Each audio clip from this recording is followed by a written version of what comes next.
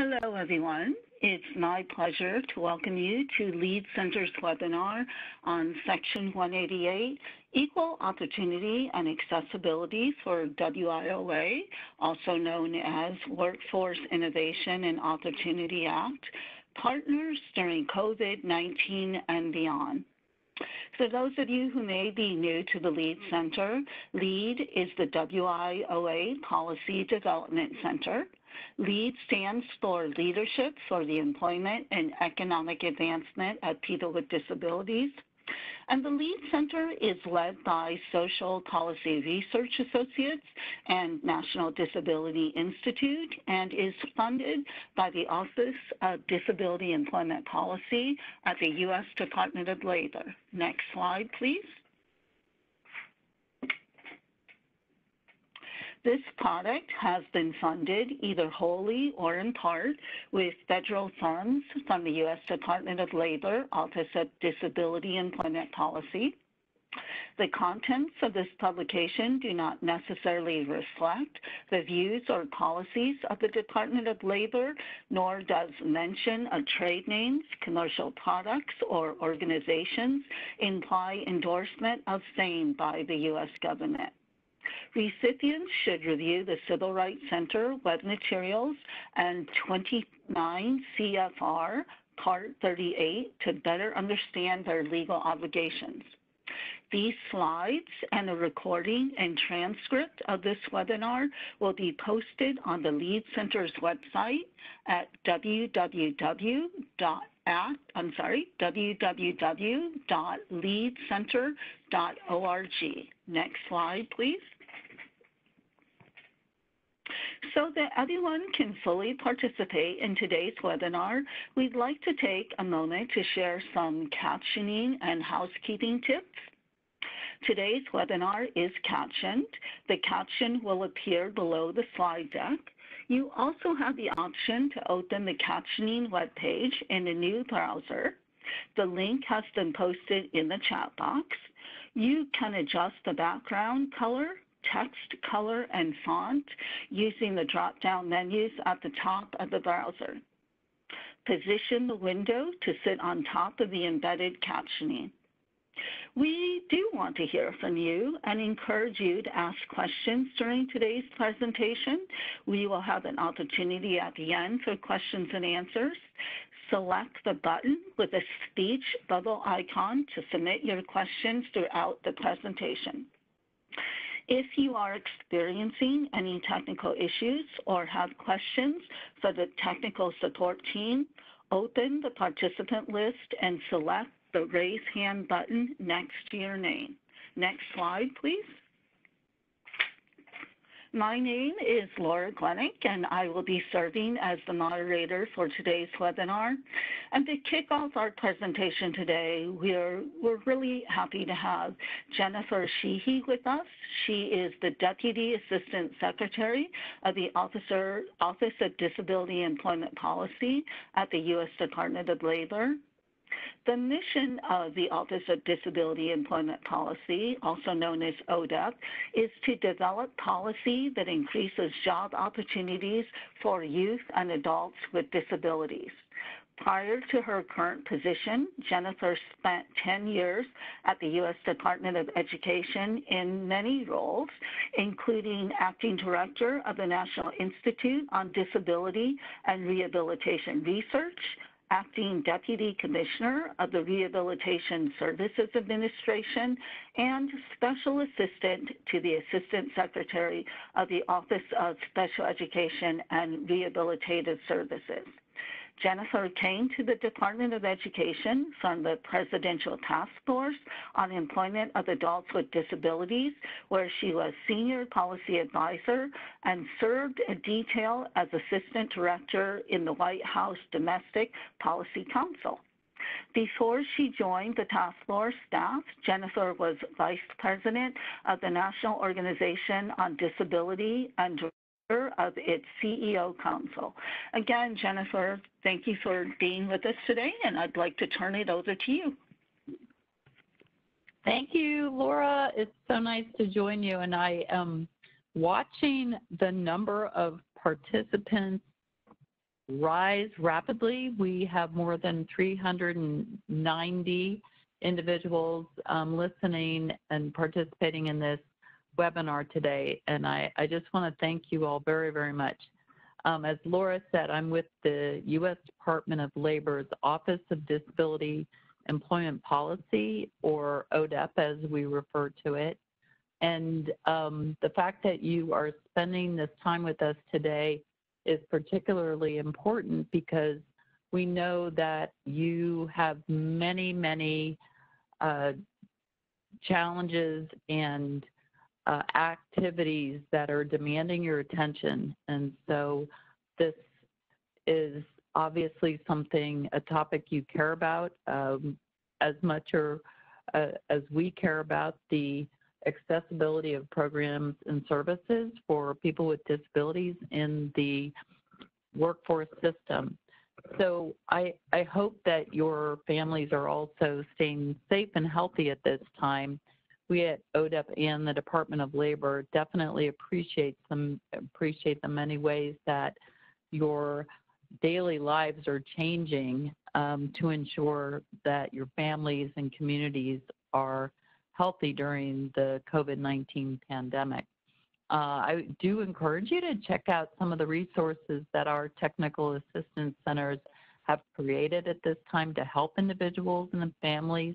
And I urge you to look at our website, which is dol.gov, dol.gov slash ODEP to learn more. There are many resources, including those from the CDC, the Equal Employment Opportunity Commission, our um, Amazing Job Accommodation Network, and others. And hopefully you would find those helpful.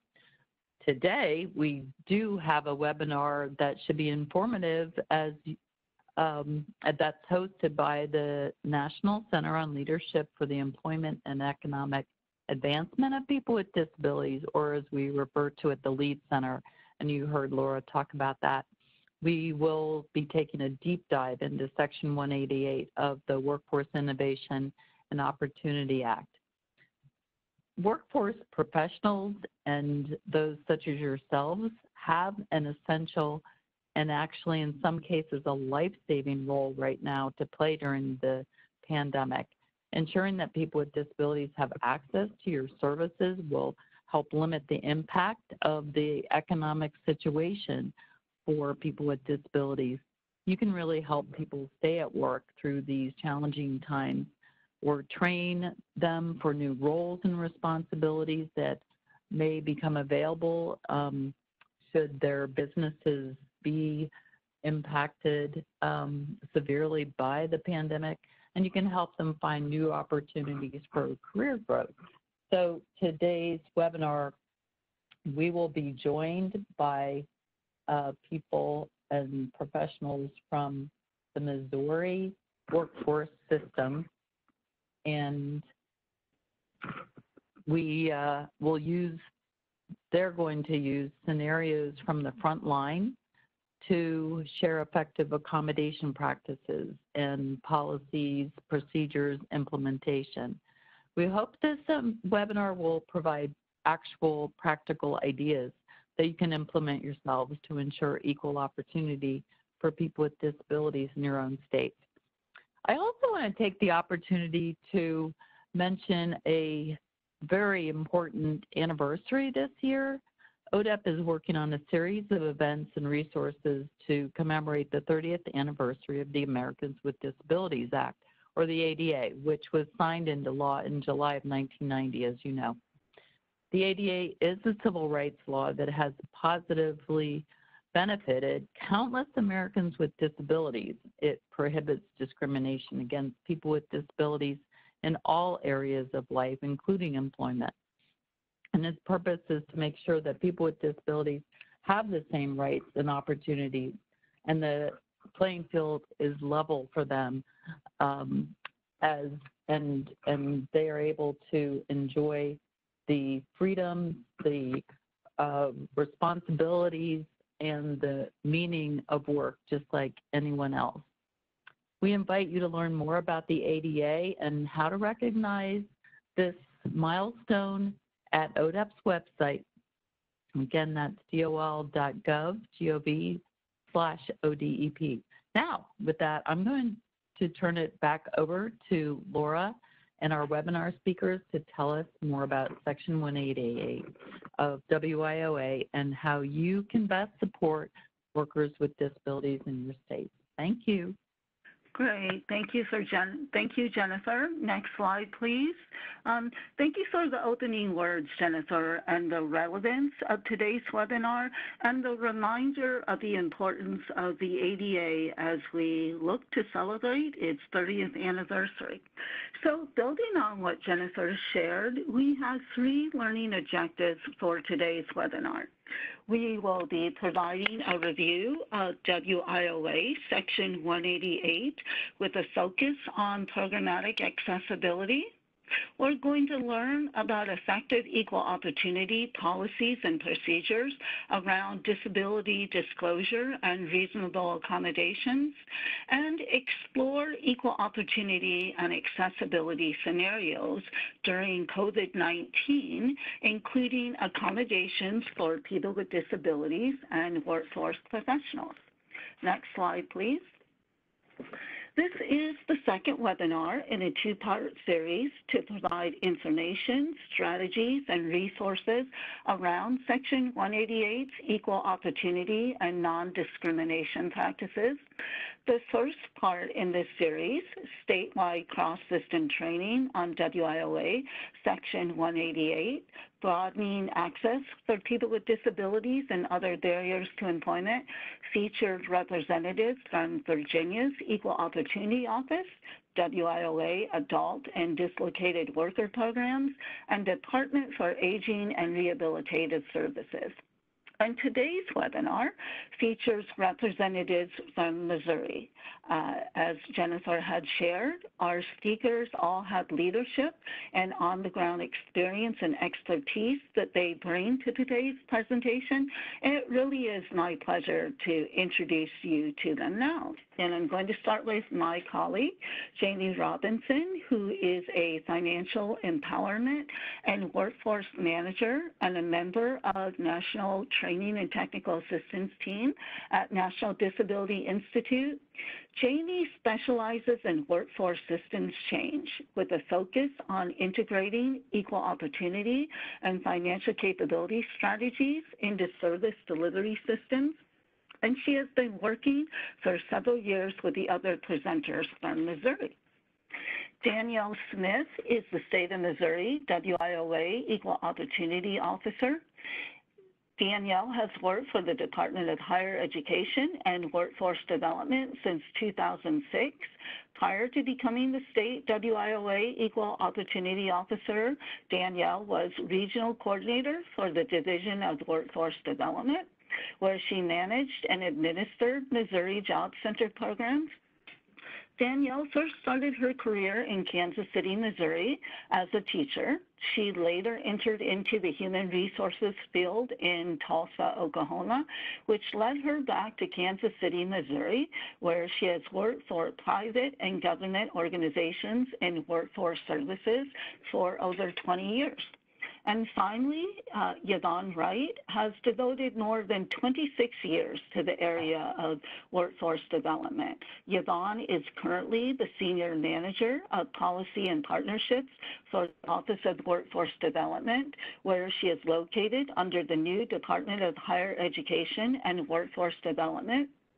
Prior to coming to the Office of Workforce Development, Yvonne served as the Director of Business Outreach and Workforce Development for the Missouri Division of Vocational Rehabilitation. In her role, Yvonne works closely with Director Mardy Leathers to oversee the provision of job seeker services provided by Missouri's public workforce system. Really want to thank all of you for being with us today. And Jamie, I'm going to turn the presentation over to you to help get us started. Great. Thank you, Laura and Jennifer. Next slide, please.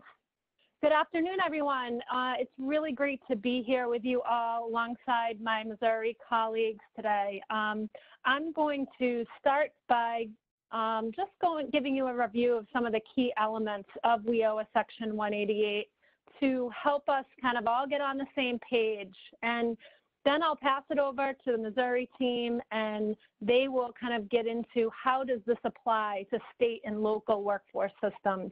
And they'll also talk about some of the strategies and the practices that they're using, not only to meet 188 compliance, but you know, how are they operationalizing policies?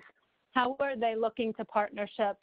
Uh, how do they keep such a close pulse um, on accessibility?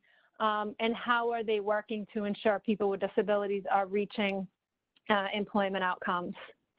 So Section 188 of WIOA implements the non-discrimination and equal opportunity provisions for workforce services, activities, and programs. Uh, Section 188 prohibits discrimination um, on the basis of all of these diversity bases, race, color, religion, sex, which also includes pregnancy, childbirth, and related medical conditions. It also includes transgender status and gender identity, age, disability, political affiliation or belief, national origin, including uh, limited English proficiency, and citizenship status. Uh, here is a link to Section 188 for your reference for more information. Next slide, please. So under Section 188, um, AJC programs are required to provide reasonable accommodations for individuals with disabilities to ensure equal access and opportunity. And reasonable accommodation is defined as a modification or an adjustment in the way the program is administered that enables an individual with a disability to receive any aid, benefit, service, training, or employment equal to those provided to individuals without disabilities. So let's pause there, talk a little bit about that. When an AJC is assisting a job seeker who voluntarily discloses a disability, um, and we're going to talk a little bit later about how people disclose, right? Because lots of people don't necessarily use the term disability or accommodation, right? But when a disclosure happens, um, that really should prompt the AJC to consider, you know, how can we work together with um, that job seeker to identify are there any accommodations that are needed? And if so, how can we move quickly um, and, and in a timely way um, to help that individual to access services and, and make sure there's not a delay? And the third bullet there, this is really important because AJCs really need to not only have the written policies explaining the obligations to make those accommodations, but it's just as important for AJC staff and partners too, and customers to understand what's the process involved um, to move quickly in a timely manner, right? A quick example of an AJC um, and the importance of kind of having both that written policy and the process in place could be an individual who has a visual impairment asks, you know, do you have any adaptive technology in your resource room? And here's the thing, lots of AJCs do have now, they do have various types of AT available, adaptive technology. But not everyone knows what they have. Not all the staff knows uh, what they have, how it works, where it is, right? So this is kind of an example. Yep, we have an accommodation policy. We even have the accommodation that's being requested, but we don't know where it is, how to access it, and how to get the customer to it. Um, the last bullet there, you'll see in limited circumstances, the AJC programs may not be required to provide a specific reasonable accommodation if it can establish that making modifications would cause an undue hardship for the AJC program. So accommodations are going to depend on each situation, right? So if you look at another example of a deaf job seeker um, and assume, okay, the AJC has the policy in place, they know how to secure an interpreter, right? The individual comes in, he's deemed eligible for a training program that's months long. Who provides the interpreters, right? Who pays for the interpreters for that program? And that's going to depend on each situation, right?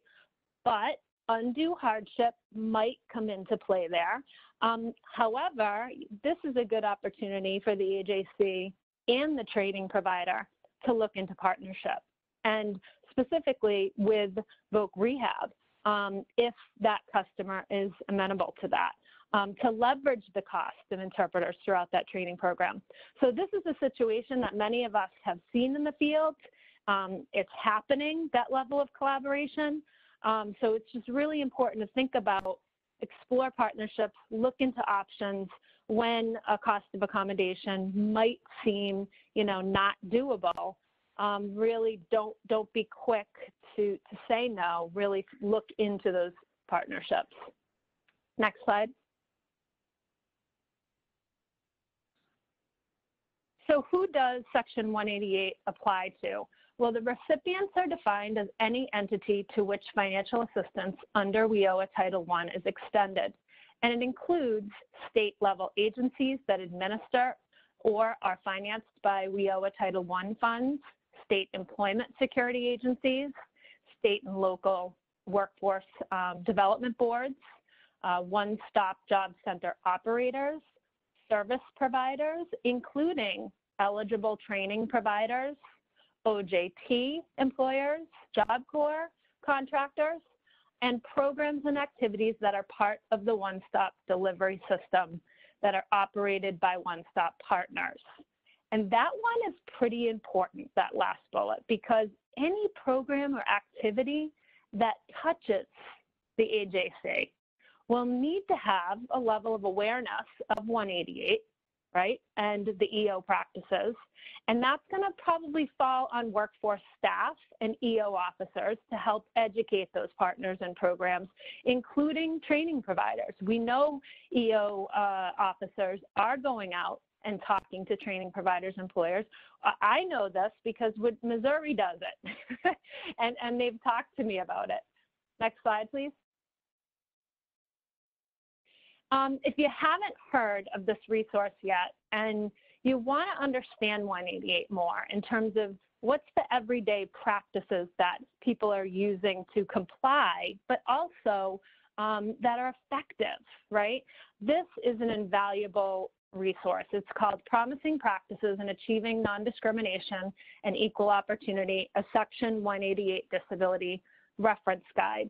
Um, and this was jointly developed by the Civil Rights Center, also by the Office of Disability Employment Policy with support and assistance from um, the LEAD Center uh, with the National Disability Institute where I work. Um, and the promising practices in this guide directly correlate with all of the non-discrimination equal opportunity requirements of 188. So what you can see is lots of different ways. You know, there's not just one way. There's lots of different strategies that workforce systems can use to comply, but also to improve access and help people get to their employment, reach, you know, their goals. Um, it is important to note that the guide doesn't create new legal requirements. It doesn't change current legal requirements um, the promising practices that are in there, you know, they don't preclude states and, and, recipients for thinking about new approaches. We're always talking to the field and, and getting more uh, strategies, and, and we did update um, that 188 guide too, and I'm sure that's something that'll be an ongoing process. Um, but also adopting these promising practices will, never, will not guarantee compliance, right? But we do know that these strategies are being used across the country and we know they're expanding access and we know they're you know leading to better uh, improved employment opportunities next slide please so when we talk about accessibility under WIOA section 188 we are talking about physical and programmatic accessibility all WIOA Title I financially assisted programs and activities must be both physically and programmatically accessible. So again, you're looking at reasonable accommodations and not only to your practices, but to policies too. Just uh, spoke with uh, a state uh, around policies that were really prohibiting being able to secure interpreters because they were only looking at interpreters that were in their system. They had to be in their system and they weren't able to fill those requests. So they had to take a look at their policy. How do we change that policy so we can fill these accommodation requests? Um, administering programs in the most integrated setting. I mean, that means are you serving people with all different disabilities? Right? If someone came in who um, said, you know, I'm, I'm, working with a group of, of youth who have um, autism, sure, come on in. I'll let you, I'll show you the resource room. I'll show you the, you know, what, what everybody gets here, you know, the job leads, um, all of those core services. So really just welcoming all people communicating with individuals with disabilities as effectively with others, right? Providing those auxiliary aids, the assistive technology, um, anything that really ensures that people with disabilities are getting equal opportunity to participate in and enjoy the benefits of the program or activity. And that's bolded because, you know, it's not just about getting in the door, right? Okay, you can get to the computer, you can use the computer, you can get some job leads, programs, but enjoying the benefits. And you all can define what that means to you. But for some, it could mean reaching, you know, their employment goal, getting a job, right? And so those are the types of things that you're looking at when you're looking at program accessibility all along that customer flow of your AJC. The last, uh, last bullet um, describes how the 188 definition of programmatic accessibility is actually more encompassing. It's broader um, than the ADA program accessibility. In fact, programmatic is actually a WIOA term. So it's even more encompassing than the ADA uh, program accessibility, and it requires one-stops to ensure equal access for individuals with disabilities from policy to practice. Next slide, please. So discussing disability, uh, you know, from my experience being on the workforce side of staff, be, working in the Massachusetts AJCs, um, and then before that, um, more from a disability partner lens, um, formally coordinating an employment program for the deaf community. Both roles I experienced myself, other staff, other partners, and customers, not really understanding why AJCs might discuss disability. And so there's a lot of kind of, um, you know, just why would it come up? Why would you discuss it? You know, how is it being discussed? And so the first bullet here is really important um, for everybody to, you know, understand that state workforce systems collect and maintain records that include race, ethnicity, sex, age, and where known, right? So that would be disclosure, disability status of every applicant, registrant, participant, applicant for employment, and employee. So this data is paramount for workforce systems to demonstrate they are serving people with disabilities, right? And under WIOA, we're promised disaggregated data on not only how many people with disabilities are you serving, but what services are they getting? Are they making it into different programs that you have, your training, maybe apprenticeship, maybe career pathways? Are they getting uh, jobs and for how long? Right? So that's really an important understanding for everybody to have. This is a collection of information that has to be reported on. But I think, um, it, you know, keep in mind that AJCs do collect it differently, right? Some through the computer systems, some on paper, some orally.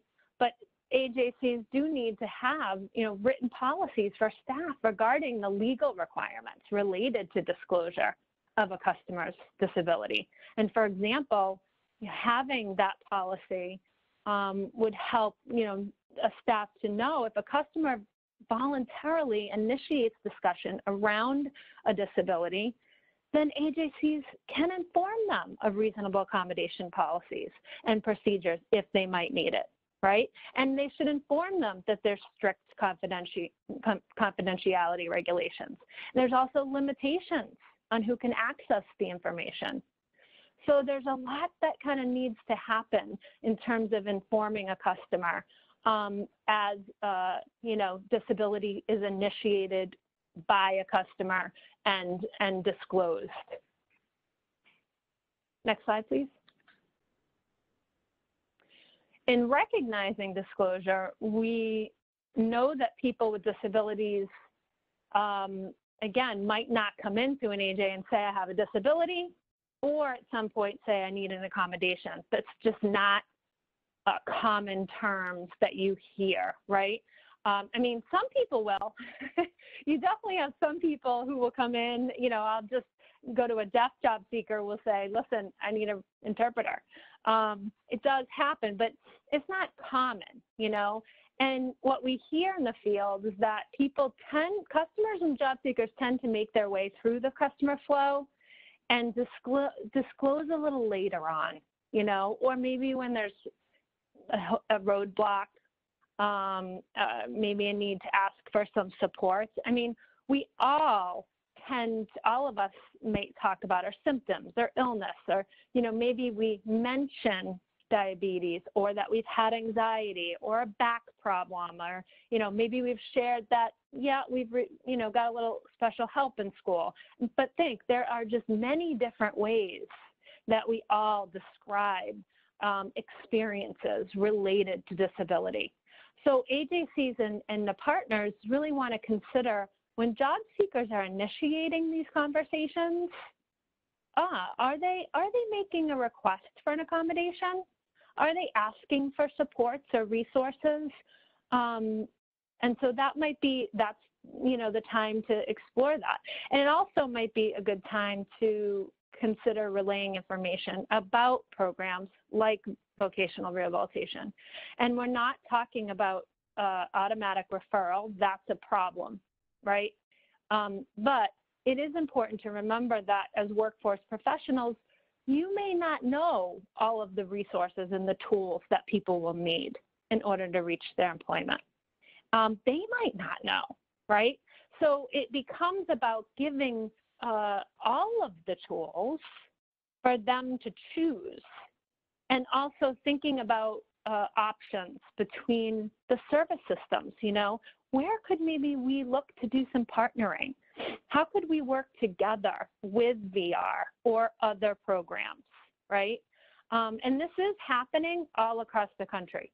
Lots of programs are co-enrolling and leveraging resources where AJCs can help people maybe get into the training or secure an OJT. And VR or another agency is providing job coaching, maybe adaptive technology, maybe some travel training, and other supports. Next slide, please. So here are just a few things to remember as customers disclose and as your AJCs collect information around disability. Um, you know, you'd want to relay that it's voluntary, it's confidential, right? What they describe might be considered a disability and supports might be available. Are they interested in that? If accommodations are needed to access services or training or job, they can be explored and, implemented. And then you all uh, know where to go for those types of resources and, and assistance and help. And we'll talk more about that too. And if customers choose, AJCs could engage VR or um, other partners. And it's, it's underlined and bolded there because, um, you know, people don't want to kind of just be referred, you know, out. Oh, you have a disability? Go here. You know, it's now a lot of AJCs are saying, hey, do you want to work together um, with this individual? They're interested in learning about VR, but they also are very interested in our services here. Could we think about coming together as a group and, and talking about working together? And that is already happening nationally. Um, and then customers must give permission to um, document their disability. Um, they have the choice, right? Um, and some will say, no, I don't want that to be documented, right? Because some people have had not good experiences around that, and that's okay. And I have to tell you, I've had a lot of talks with Missouri over the years, and I can hear Danielle saying, you know, if, even if someone says, no, you can't document it, and the person needs accommodations, then you still move forward. You keep moving forward. That doesn't stop the process. Next slide. So just a few other tips to keep in mind. Um, you want your staff to have some processes in place to recognize and discuss and think about and how do they implement accommodations, right? Um, it's not about proactively questioning people about disability um, or, or seeking information about a disability that hasn't been disclosed. That's not what we're talking about. We're talking about preparing and training staff to, oh, I, that could be uh, disclosing. Um, I'm recognizing that. I'm, I'm knowing how to do that now. Somebody's talking about symptoms, illness, all these different ways. And are they requesting an accommodation in plain English, but not using those, those words disability and accommodation? And then also feeling staff kind of feeling more comfortable in being able to uh, be in that situation and work with people, with individuals who do disclose um, instead of kind of uh, pausing that uh, or halting um, the service flow. The last bullet there, WIOA staff should understand policies and processes behind this mandated statement. So all of you are very familiar uh, with this statement that Job Centers equal opportunity employer, does not discriminate, auxiliary aids are available. But what does that mean, right? Um, and it means having a clear understanding of your reasonable accommodation policy, but more importantly, when someone makes a request, you can recognize they are, right? and you know how to move forward because there's lots of simple requests and there's there's some that are more complicated, right? So how do you how empowered is uh, you know are you to you know keep that going so people can get the accommodation if they need it in a timely manner? Uh, next slide, please. So we know that an automatic referral to VR of a customer who discloses or presents with a disability is considered discrimination. Um, and uh, with that, you know, giving a job seeker who has voluntarily disclosed information um, about, you know, potential resources, potential tools that they might need or want and that are available to that, them, it becomes all about, you know, their choice, right? And when discuss, customers disclose or present with disabilities, again, do not halt service flow. Continue to engage through services, outreach, uh, your partners, and research, research your resource, resources. I mean, unfortunately, this does happen to customers. There's this issue around like not knowing what accommodation could be explored or implemented. And it's not just by staff, it's also by the customer, some customers. Um, and so instead of reaching out to partners, there's just this kind of stop that happens and the customer doesn't move forward because no one really knows how to hire the interpreter, who's going to pay for it. um, so the important thing here is to really connect with your colleagues, do some brainstorming, connect with your VR colleagues, um, use resources like the Job Accommodation Network, and your ADA centers and think about solutions with other people, you know, and um, you don't have to know, uh, you know, all the answers, but you do need to have a process where to go to look for answers. Um, and you know what? I find that others who are also really interested and passionate about helping people to find work uh, will be your allies in this and really want to help you uh, find solutions. Next slide, please. Okay, great. So I am going to um, pass it over to my colleague, Danielle Smith, and she will uh, give you a much more closer kind of state lens on 188. Danielle? Thanks, Jamie. I first want to thank the Department of Labor and the Lead Center for coordinating this platform and allowing Missouri to showcase their work towards Section 188. I also want to thank Doc, uh, Director Mardy Leathers for allowing me to the opportunity to speak about how Missouri is providing equal access in our workforce system for our customers.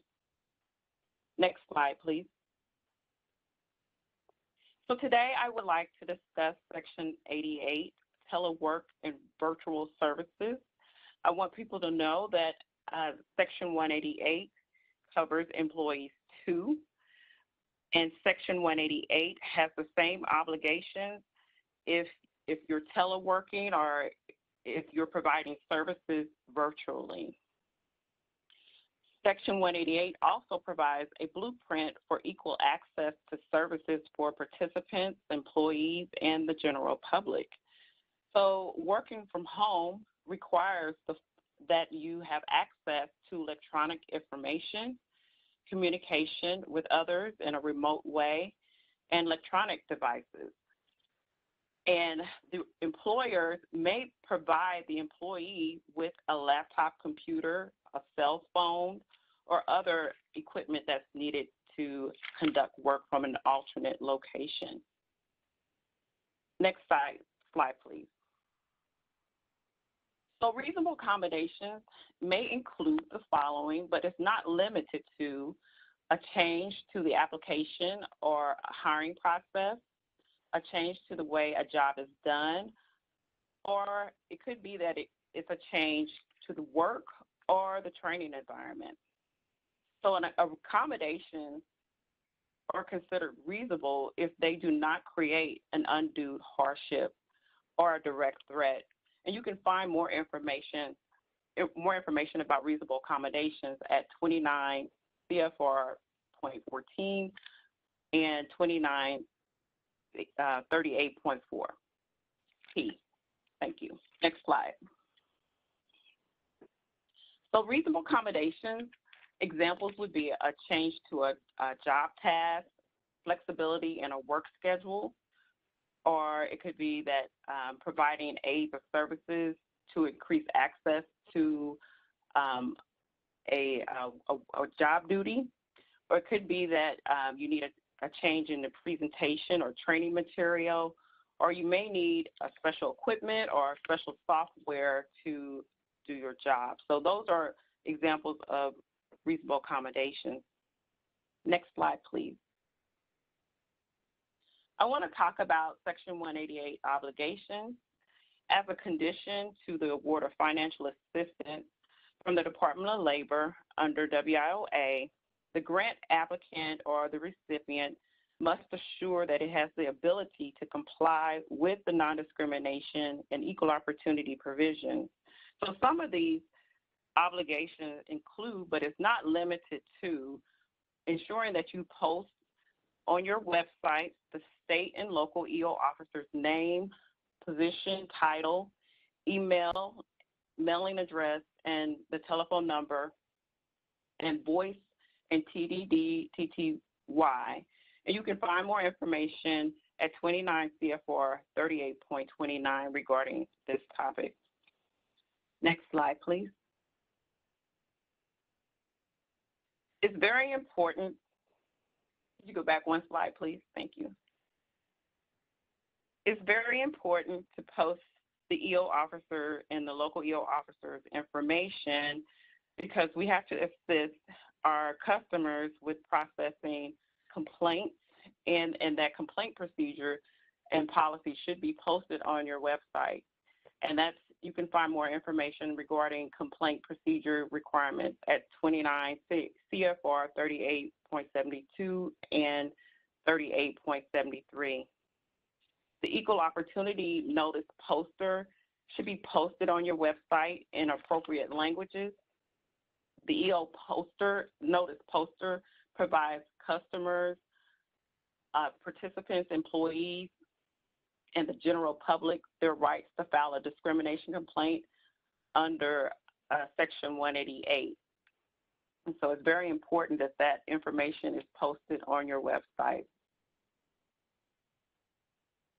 So the EO tagline is also a requirement for WIOA recipients, and this should be posted on brochures, flyers, public service announcements, anything that's advertising or um, marketing the out uh, the programs, services, um, activities that are offered in the American Job Centers.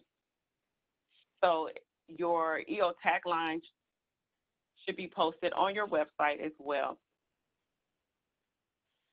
And then all other appropriate information under the uh, non-discrimination plan, and you can find a list of those things. And you can find that at 29 CFR 38.54. But uh, Section 188 requires a lot of uh, a lot of things that uh, state workforce, the state workforce system should have um, to make sure that they're in compliance with Section 188. So each governor must establish, implement a non-discrimination plan for states, and each non-discrimination plan must be designed to give a reasonable guarantee that all recipients will comply and are complying with the non-discrimination and equal opportunity provisions under Section 188 of WIOA. The non-discrimination plan should be posted on your website because anyone should have access to the non-discrimination plan. And I think I need to go back one more slide. Thank you. So another obligation, some other obligations under Section 188 is ensuring the website is consistent with accessibility standards such as Section 508 standards. You can find more information at 36 CFR Part 1194 and um, W3C's Web Content Accessibility Guidelines. And you can find more information at 29 CFR 3815. But we want to make sure that our websites are accessible. When websites and tools are properly properly designed and coded, people with disabilities can can use them. But when a website has accessibility barriers, it makes it difficult or impossible for people with disabilities to use and access um, services. We want to make sure that the website is accessible so it can benefit everyone. The Babel notice or other LEP requirements that is you can find under 29 CFR 38.9. The Babel notice is a short notice included in your documents or electronic communications, such as your website. Um, if you have some type of app, it should be included in email, and it also should be available in multiple languages, informing the reader that communication contains vital information. The Babel notice also explains how to access language services to have the contents of the communication provided in other languages. So all WIOA recipients are required to take reasonable steps to provide language assistance. And of course, what we've been talking about today is, is reasonable accommodation modification and you can find more information at 29 CFR uh, 38.14. But a recipient must provide reasonable accommodations to qualified individuals with disabilities who are who are participating in our programs, services, or activities. And as I stated before, this also applies to employees and applicants for employment. Unless the uh, providing the accommodation would cause an undue hardship. Next slide.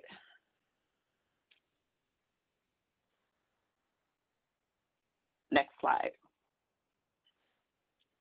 Okay, so now I'm going to turn it over to Yvonne Wright, who is my coworker, who will provide some scenarios uh, regarding virtual services and the things that we've done in Missouri. Thank you very much, Danielle. And I have to also say what an honor and a privilege it is to speak on behalf of Missouri and uh, really appreciate the guidance of our leadership at uh, the Office of Workforce Development in Missouri. Dr. Leathers has been very supportive of all our efforts. So um, I wanted to let you know that what we're going to discuss next is kind of some, hopefully some real life examples.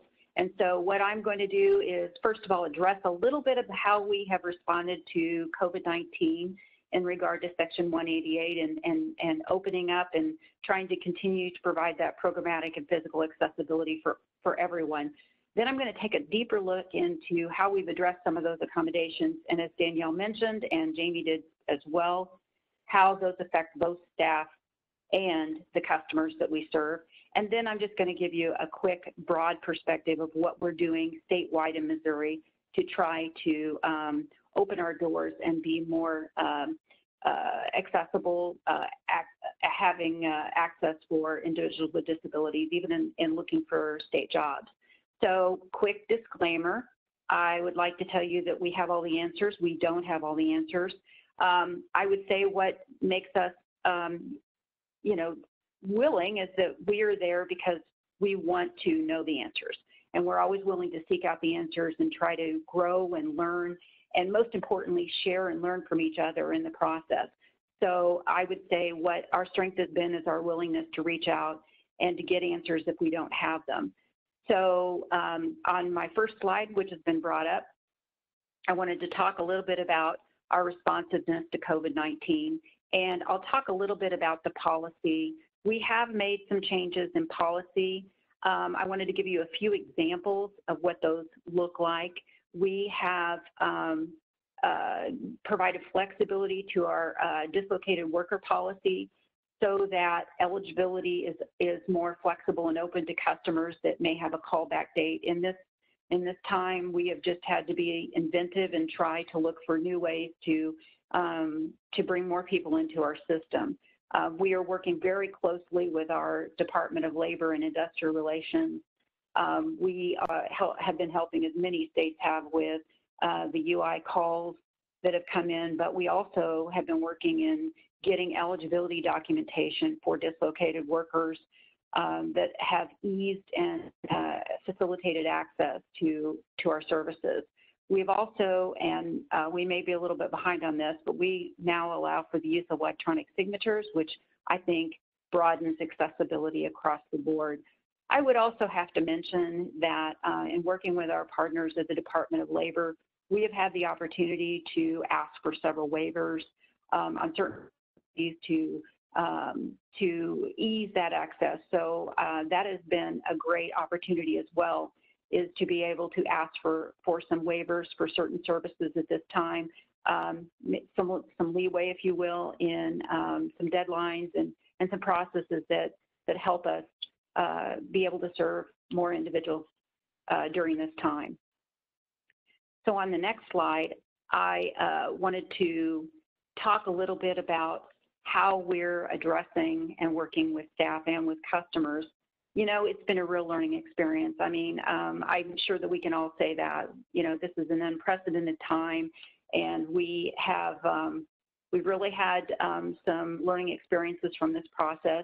And we knew right up front that in order for us to better serve our customers, we're going to have to focus on our staff needs uh, first and as well through the process. Um, probably like a lot of other American Job Centers, we went through a period of time where we frankly, at the very beginning, just were in shock and didn't do uh, anything until we figured out a plan.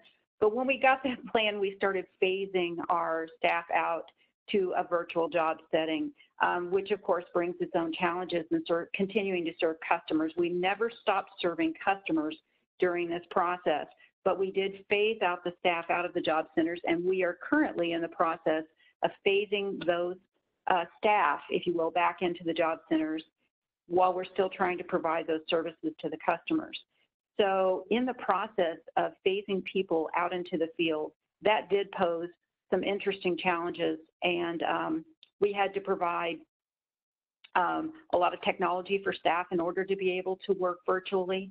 we clearly have had to be very accommodative with work schedules. Um, you know, maybe in a way, this this whole COVID-19 uh, pandemic has taught us that um, we need to think more flexible in a lot of different ways, and really that plays a lot into the message that 188 is trying to to share is thinking differently and thinking outside the box. Uh, we've had to address ergonomic needs. Uh, we were on a phone call with field staff and we were talking about how we were going to run out and provide earbuds for all of our staff so they could take calls for the customers that were calling in and, and someone spoke up and said, you know, uh, I, I have hearing aids. How am I supposed to, um, how am I supposed to uh, be able to serve the customer the best I can if you're passing out earbuds? Earbuds aren't going to work for me. And it was a good learning experience for us to stop and say, wait a minute, we need to do something different so that we can accommodate our staff.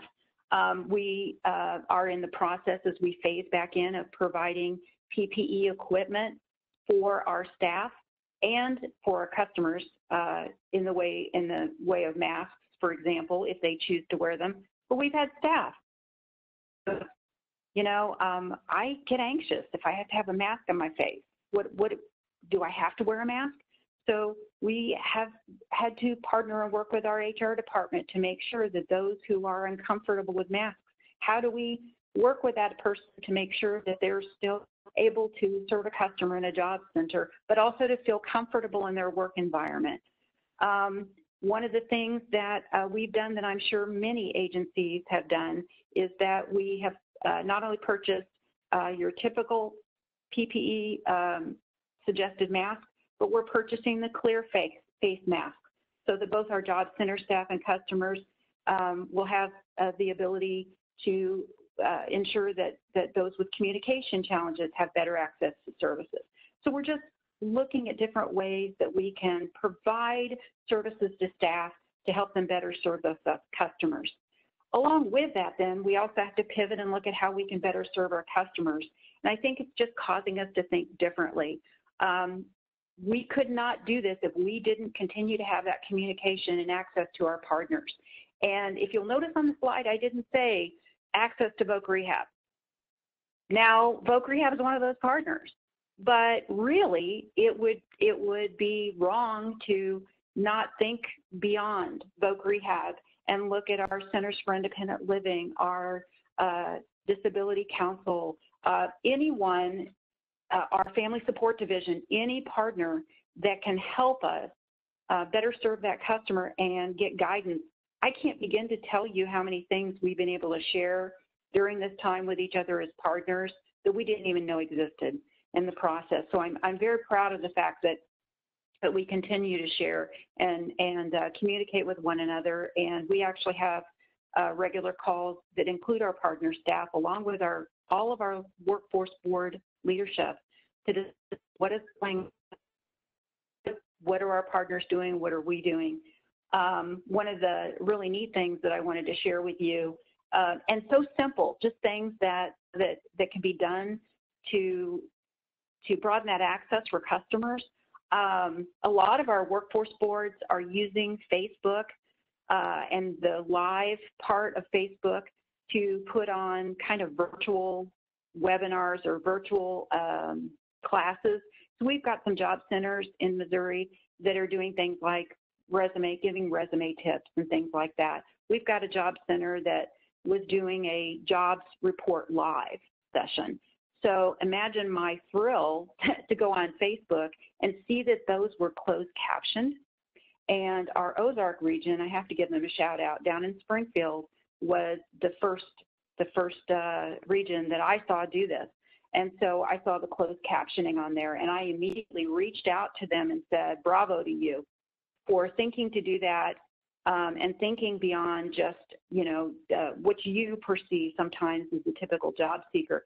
And the, the workforce board director wrote me back and said that since they have done that captioning, their, their count on their social media has increased and it was just that simple, simple thing that made a huge difference. And so it, it's thinking beyond, you know, the usual way that's been that's been helpful for us. So next slide. I want to talk a little bit about what we have done beyond COVID, so before COVID and, and beyond COVID, to, to really embody, I hope, Section 188 and serve our staff uh, needs and accommodations. And I just wanted to share that it really takes a team of people. You're never alone. I am a manager. I do supervise. I oversee staff. And so I know that it can be lonely sometimes, uh, to be honest with you, to fully um, understand everything, keep it all straight. But the fact is, we all have help. We have our EO officers that are located um, out in the field that can help with accommodations. We have our human resources. Sometimes we need to consult our legal counsel. And in my case, is even our building safety coordinators. We are housed in a eight-story large state office building. The first access out of the building is on the fourth floor. We are on the eighth floor. And one of the things, for example, that we had to address is what happens when there's a fire drill or a tornado drill and a person with mobility issues uh, needs to adhere to that drill? What happens? Um, well, we have to have a conversation with our building safety of, of what the needs of individuals can be. That's just one example of how we, we are working um, to coordinate those efforts. The next slide. So just, just wanted to give you a little bit of example of some of the things that we have, these are actual things that we have actually worked with in Missouri as far as accommodations. And I think that um, one of the most interesting and um, learning opportunities for us was we have hired an individual that utilizes a service dog. So um, what do you have to think of when you've got someone who is going to be entering the building and, and using a service dog? We found out that um, we we had to make some accommodations to the workstation um, that the the dog would would uh, be housed at with the employee because of distractions and things like that. So we we had to learn a lot um, in the process of making sure that it wasn't just as simple as as saying, okay, you know, um, go for it. There were some things that had to be done in order to make sure that um, that employee felt comfortable with the tools she was using as a service dog um, in her work environment. And of course, we have workstation accommodations we have made. Again, you have to make work schedule adjustments. We've, we've had an issue with parking exceptions. We have a ton of parking spaces that are for individuals with disabilities. But we have even had situations where if people leave during the day to go to a meeting and come back, they're all full. What do you do when, when you have a person with a disability and their parking space, a, an accessible parking space just isn't there because there are so many users of those spots. And so we had to come up with creative ways to uh, make sure that that individual could get back in the building and still have accessibility. So those kinds of things are just things that we that we keep on our mind as as we're working with individuals um, that we you know to make it a better working environment for them.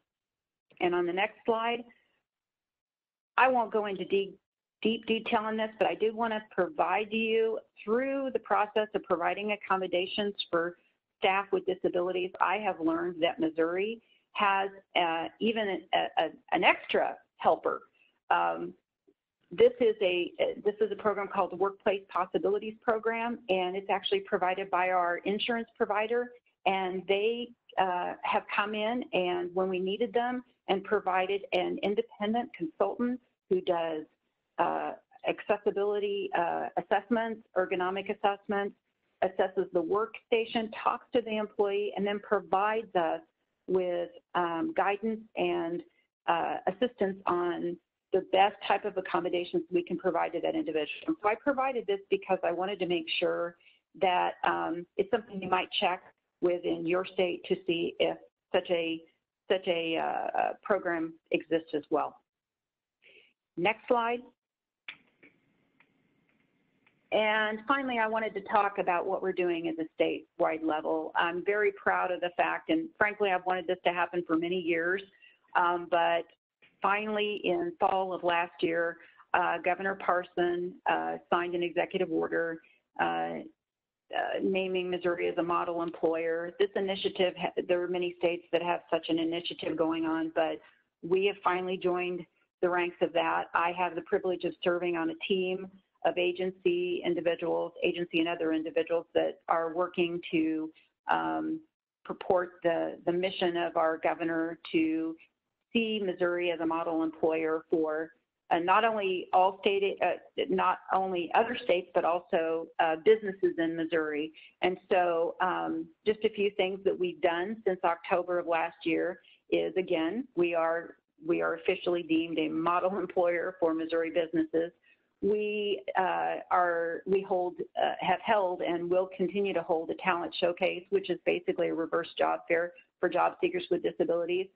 When that took place last fall, it was for state agencies only. And state agencies were mandated to go through training, HR staff was, were mandated to go through training in order to understand how to um, better interview, prepare, uh, and hire and accommodate individuals with disabilities in the state workforce agency. And then finally, as we're moving through that Missouri model as a model employer initiative, the most recent development is that we are establishing what are called disability navigators, which will be at each state agency. And these individuals will be subject matter experts um, around uh, disability issues, but also be a liaison and a, uh, a contact for each state agency, which I think is frankly very desperately needed. So I'm very proud of that. Next slide. And I will just conclude by saying that, um, you know, I think one of the best lessons I ever got when WIOA was signed into law is I had a supervisor who would constantly say, you got to remember the intent, Yvonne, you got to remember the intent. And I know we talk and we quote law and we talk about, you know, um, the regulations and those are so critical, but to me, what kind of drives me every day and helps guide me, and I hope guides our agency and our state, is that the intent of Section 188 is really to get us all to think differently and to think inclusively when we're interviewing, hiring, and supporting our staff needs and assisting our customers. Um, and like I said at the beginning, if COVID 19 has done anything in a positive way, it sure has opened those doors of opportunity to think differently and maybe it will help us transfer those into um, better services for um, well all of our customers but including our customers with disabilities so with that i'll turn it back over Great. Thank you, Yvonne. Uh, that's a wonderful way to end and a wonderful way to, to sum what we heard today. And let's all take it with us. Can we please come go to the last slide?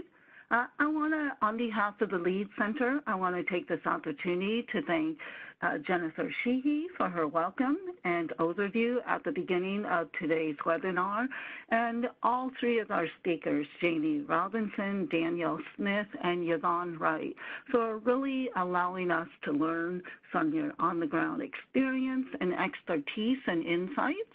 Um, when you uh, come to the LEAD Center to download the resources, uh, we do have many resources to help you. Uh, please take a moment as you exit today's webinar to complete our post-webinar survey.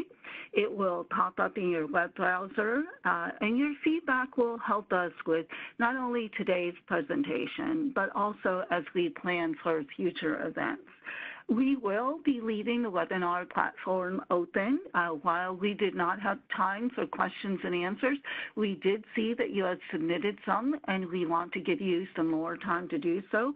So we'll leave it open for the next five minutes. Please do enter your questions, and we will answer them, and along with posting the webinar archive, the slides, and the transcript to the LEAD Center website, again, www www.leadcenter.org, we will have questions with answers. So again, thank you everybody for joining us on what Jennifer shared at the beginning and Jamie, Danielle, and Yvonne walked through.